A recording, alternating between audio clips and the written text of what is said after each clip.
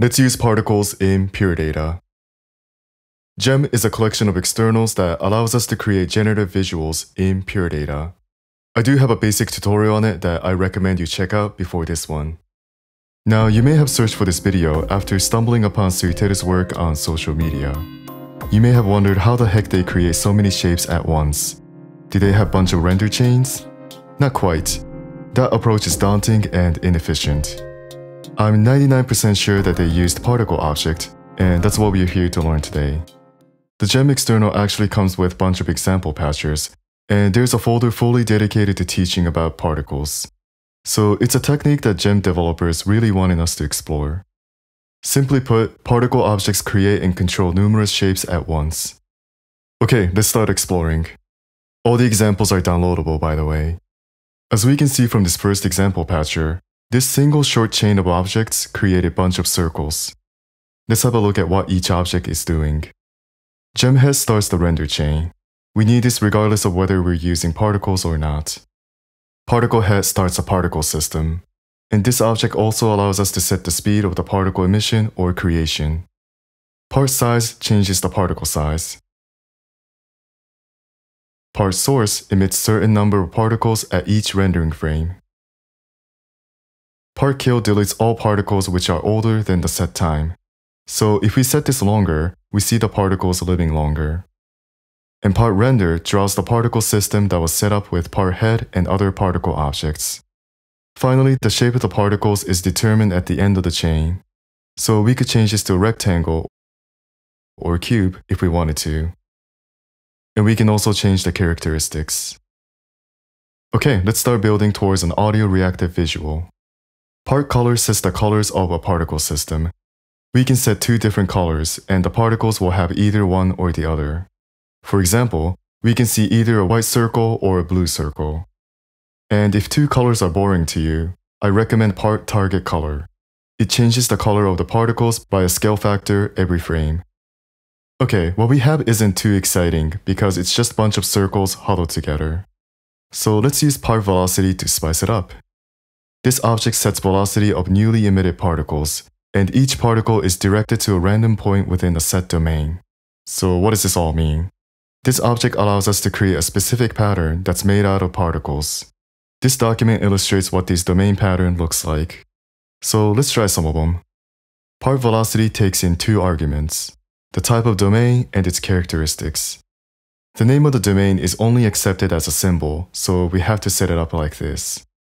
As we can see from this document as well as when we click on this button, the pattern that we have been seeing so far was the point domain. Okay, let's try the line domain. So we have point number 1 set at negative 0.5 on the x-axis, and 0 for both y-axis and z-axis.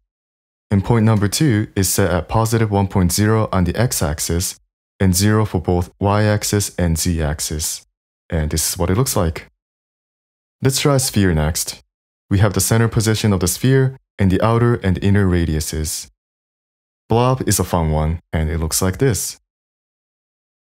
And finally, let's try cone. So as we can see, it's easy to switch between different patterns.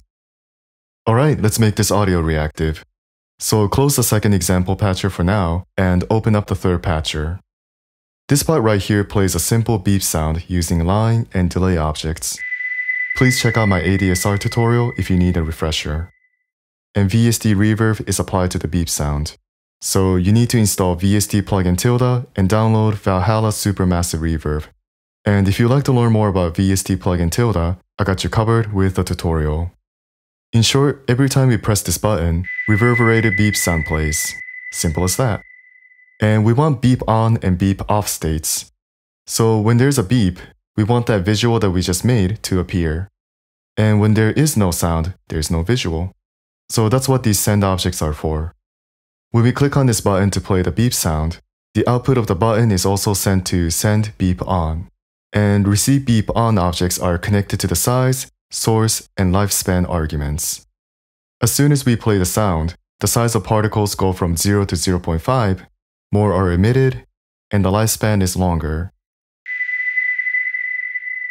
And after about 2.5 seconds, beep off is activated and pretty much reverses the arguments.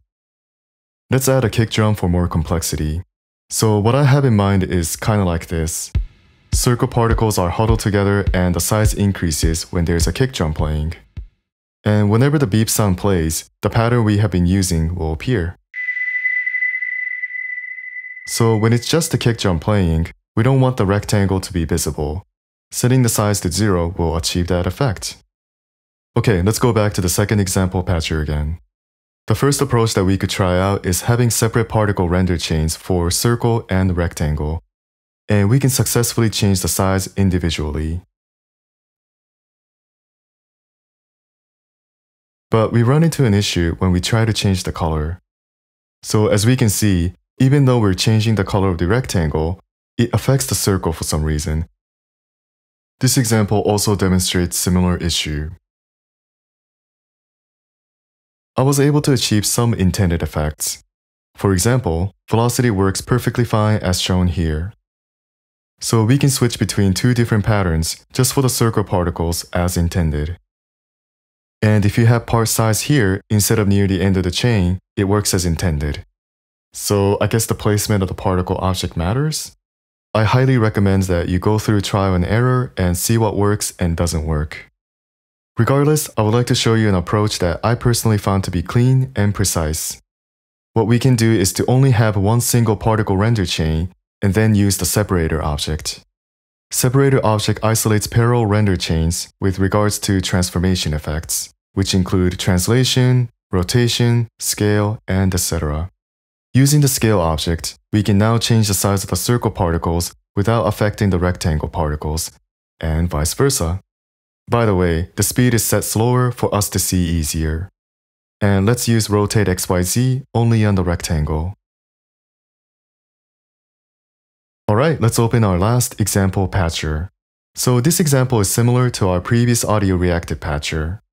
One of the main differences is that we have a step sequencer for kick and beep sounds.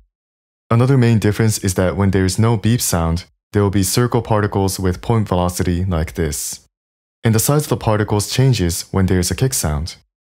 So the key here is that we're switching between two different velocity patterns, and that's pretty much it.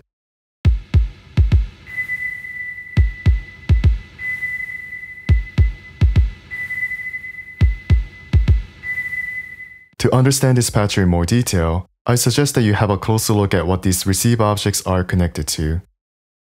So what's next? Experiment. Test out what works and what doesn't, and develop your own style through the process. And I recommend looking at other particle objects that are available and going through the help patcher. Again, the gem developer provided us with a bunch of example patchers, so I recommend that you check them out. I should also mention that Suiteru has a Patreon with tutorials. Because I haven't personally signed up for it, it's not possible for me to recommend it, so it's completely up to you. I do owe it to Suiteru for inspiring people to want to learn Pure Data and Gem, so that's why I'm shouting out their Patreon. With that being said, you also deserve to know that you can always learn from free resources that are provided by the developer. As long as you're not spending tons of money, whichever path that you take is completely valid. Just make sure that you're having fun and developing your own style. Okay, I'll see you in the next video.